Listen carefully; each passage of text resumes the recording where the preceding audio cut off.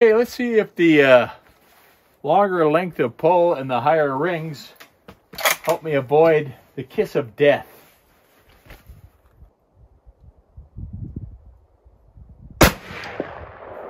Much better, much, much better. So, uh, welcome to Yukon North 61. Some of my subscribers have commented on how ugly this rifle is. So this is a Tikka 30-06 uh, in a MDT uh, Hunt 26 carbon fiber stock, uh, which is 26 ounces, was the folding stock. Uh, I also got it with the Arca compatible forend.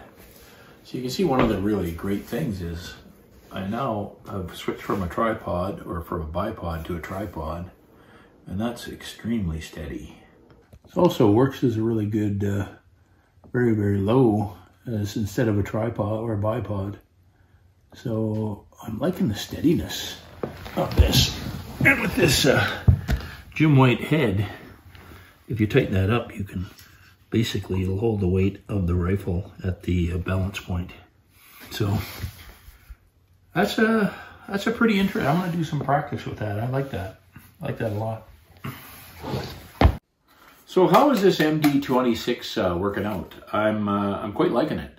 Um, with the high rings, the uh, ergonomics is very very good. I really like actually this uh, this hand uh, piece here. Very nice, very nice. Um, and I've had to extend the length of the uh, pull. Um, gone with the high rings super strong, super light, 26 ounces, and uh, really, really steady uh, as far as this, uh, this folding piece goes. And again, once you've folded this down, um, I am really impressed with how easy that is to carry with you. Like, it's now 33 inches or so, maybe a little less. And when you put this right beside your um, right beside your pack, you notice it doesn't go past my head. So this rifle is going to come with me on all my little trips up in the Alpine where I have to go through woods.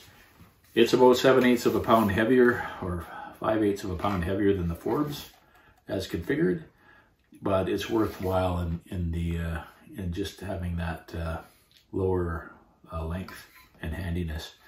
Also really handy for if you're in the tent and you hear uh, something go bump in the net at night, when you're in a 33, 40 inch tent, and you have a 46 inch rifle, it's really hard to move it around. This thing is small enough that you can really point this from inside the tent.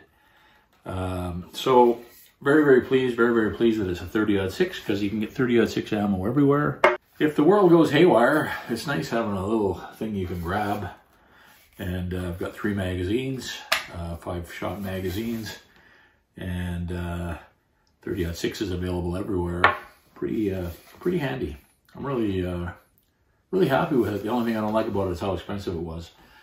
But I sold some gear. I'm selling some more stuff, so I'm actually money ahead right now. So uh, again, thanks for watching.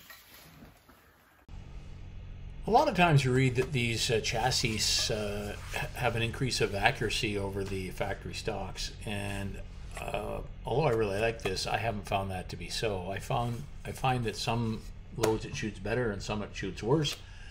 Because this is a totally free floated barrel, unlike the original Tikkas that have a little pressure point. So the harmonics is a little different. So 220 grain uh, Hornadys, for whatever reason, even with factory ammo, I'm getting sub MOA. Some of my other uh, loads that that uh, were really really good are not as good. Some of them were, that weren't as good are better. So I'm just going to have to retest a little bit because the harmonics have changed, and I think it's probably just as accurate. I don't I don't know if I believe those accuracy improvement claims, but it's certainly not worse. It's just a little different. It's much, much easier with the higher scope mounts. So this is Staval 6.5 200 grain bullets at 2520.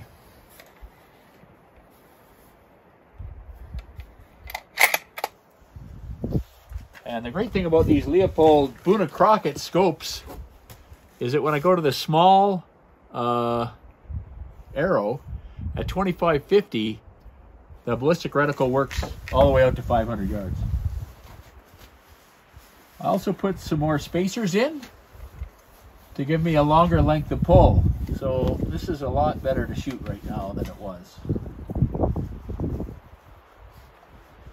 So here we go.